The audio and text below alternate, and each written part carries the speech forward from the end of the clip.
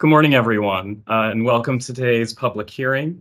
Uh, it's now 11 a.m. on Wednesday, October 11th, 2023. My name is Matthew Finkel. I'm an executive agency counsel here with the New York City Business Integrity Commission. And joining me today is Director of Policy, Nicole Mathias. Uh, as this hearing is being held remotely, I will ask that all of our virtual guests ensure that they are muted at all times unless specifically called upon to contribute. The Business Integrity Commission, commonly known as BIC, is conducting this hearing as required by the rules of the City of New York. Pursuant to these rules, BIC must hold a public hearing every odd-numbered year prior to October 31st regarding the maximum rates charged by private trade waste carters for the collection, removal, and disposal of trade waste. For simplicity, this will be referred to today as the rate cap. The current rate cap was put into effect in October 2022.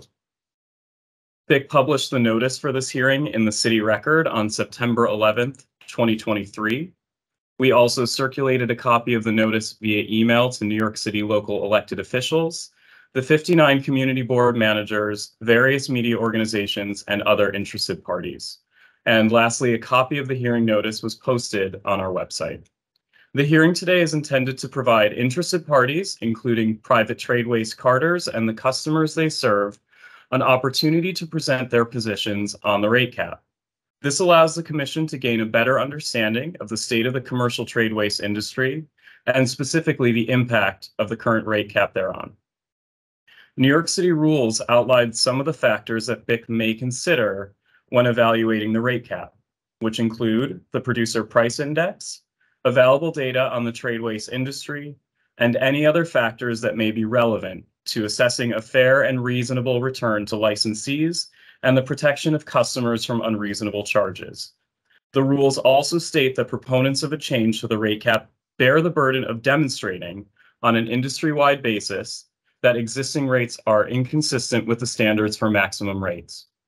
As such, we are here to listen to you on this issue uh, we especially welcome any statements supported by studies and empirical data. This hearing is the beginning of our fact-gathering process on the issue.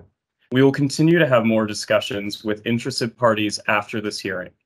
And after we've gathered all pertinent information, we will then be in a position to decide how to adjust the rate cap or to allow it to remain unchanged. Uh, we do have a court reporter present with us today, and she will transcribe the hearing.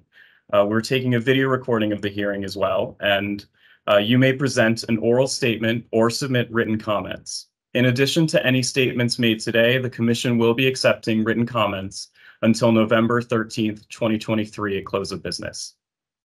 Um, and with that, my colleague, Director of Policy, Nicole Mathias, will begin calling upon those who wish to speak. Okay, so I'm going to call on folks in the order in which uh, they signed up ahead of time, and then if anyone else would like to speak, you will have the opportun opportunity to do so. Uh, so first up, David Biederman, uh, you have the floor. If you could please state your name and affiliation, and please speak clearly so the court reporter can transcribe your comments. Thank you, Nicole. Uh, my name is David Biederman with Biederman uh, Consulting LLC. Uh, good morning. Um, I'm appearing today on behalf of the following licensees, Century Waste Services, D&D Carting, M&M Sanitation, and Mr. T Carting. These licensees will be submitting written comments in early November that support their request for a rate cap increase well above the 3.5 to 4% that the New York City Producer Price Index or CPI have increased since August of 2022. Licensees and others in the solid waste industry believe that the BIC often defaults to these indexes when adjusting the rate cap every few years, even though the two principal cost components for carters are labor and disposal, which have little correlation with certainly consumer prices. Before I briefly outline licensees' two major arguments for an above index rate cap increase, it's important to remind the BIC that although its periodic rate cap increases are greatly appreciated, they always occur after the fact. The cost of operating a solid waste company in New York City increases annually, but relief in the form of a rate cap adjustment is almost is always prospective. The industry is always playing catch up. For example, over the past few months, carters have incurred new and unanticipated costs to provide containers to tens of thousands of customers due to the Department of Sanitation's new waste containerization rules. The licensee's written comments, which we, we will be submitting in early November, focus on two key cost components. First, disposal costs. The cost of disposing waste and recycling in the New York City metropolitan area has increased substantially since August 2022. Transfer stations, waste-to-energy facilities, and recycling facilities have all increased their tip fees substantially over the past year. The vast majority of carters do not own or operate disposal facilities and therefore do not benefit from the additional tip fee revenue. Many carters, including most of the licensees who I'm representing here today, are paying in excess of $100 per ton at area disposal facilities. Licensees' preliminary analysis suggests tip fees have increased by more than 15% since last summer, and there is every reason to believe that these tip fees will continue to rise in the months ahead. Licensees' written comments will provide specific data that support the assertion that tip fees have risen substantially over the past year and are likely to continue rising this year, for the remainder of this year, and into 2024. Second, licensees' written comments will review the impact of congestion pricing on carters who collect waste and recycling south of 60th Street in Manhattan. As we suspect the BIC is aware, government officials intend to impose a new toll next year on virtually every vehicle that operates in Manhattan south of 60th Street. This congestion pricing program is intended to reduce traffic in Manhattan and provide a new funding source for the MTA. The MTA's Traffic Mobility Review Board met last week, and it appears congestion pricing will begin by April of 2024. Congestion pricing for trucks, including garbage trucks, is expected to be three times the amount charged to regular cars. Now, the precise amount of this new charge for both cars and trucks has not yet been precisely determined. However, what is certain is carters that collect waste in much of Manhattan will be forced to pay a substantial new expense on a daily basis. In total, congestion pricing will add millions of dollars in new costs for carters with customers in Manhattan south of 60th Street.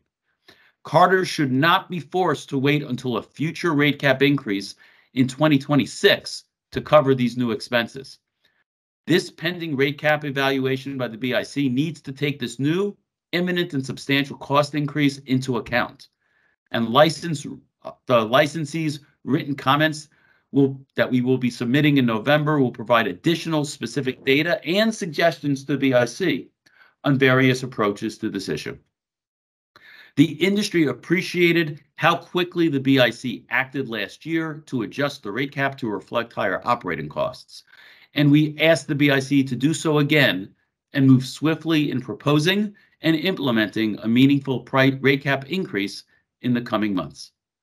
Thank you for the opportunity to submit this testimony this morning. Thank you, David. Uh, so you were the only person who had uh, requested ahead of time to speak. Is there anyone else on the call who would like to uh, testify today? Okay, uh, Andy Moss, uh, the floor is yours. Good morning, everybody. Good morning, Nicole.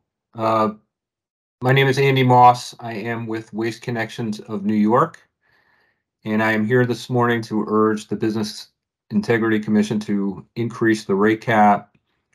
Uh, we will be submitting written testimony later this month or early November. But I did want to mention briefly today uh, that the Federal Bureau of Labor Statistics publishes a producer price index specifically for the solid waste collection industry, which gives an accurate, highly relevant picture of the cost pressures that the uh, solid waste industry is experiencing. And I just wanted to note that from September to September, that index uh, has increased slightly over 9%. That's in one year time.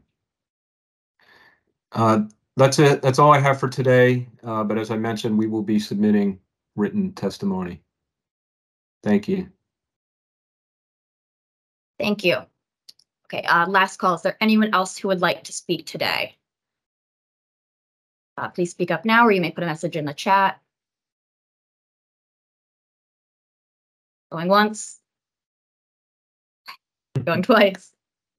Okay, um, seeing none, we are going to uh, close the record for this hearing. As we mentioned, BIC will be accepting written comments on this topic through November 13th of 2023. Uh, thank you all very much for joining today.